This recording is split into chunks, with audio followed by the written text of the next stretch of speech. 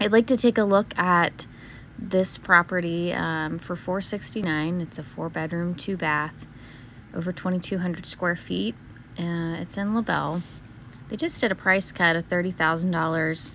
Um, the reason why I think this property is uh, interesting is because obviously it's it's got a really nice wraparound porch. It's got that you know just that old character and charm. Um, what a great porch to sit out and enjoy you know morning coffee. Um, but what's interesting about this property is it does leave some room for um, you know maybe some renovations and updates, which is nice. Um, saves you a little bit of money on the price. Um, but then also it's got over two acres and another house on the property.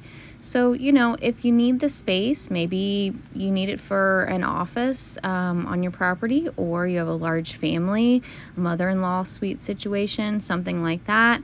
This property really has a lot. Um, let's take a look at the details. So, like I said, almost two acres, um, four bedrooms, two baths built in 1983. Uh, like I said, it's got a lot of character and charm.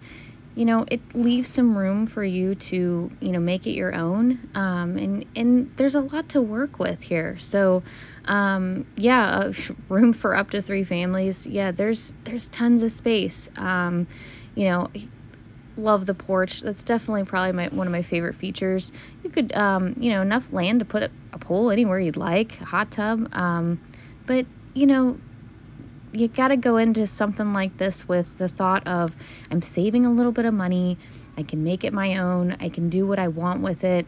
Um, but the bones and the structure is there. And, and what a great, great house. So, um, you know, if you're interested in taking a look at this property or maybe some something similar, or um, you know, you'd like my advice on, uh, you know, maybe some other ones that are in the area that are, or maybe totally different criteria, um, definitely, uh, you know, shoot me a text. Um, or go on our website milliondollarfloridateam.com uh, you know, book right directly on our calendar and uh, we'll set something up for you.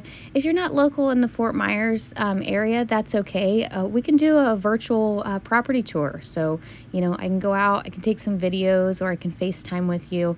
Um, but I'd like to introduce you to some places that I think that you would totally love.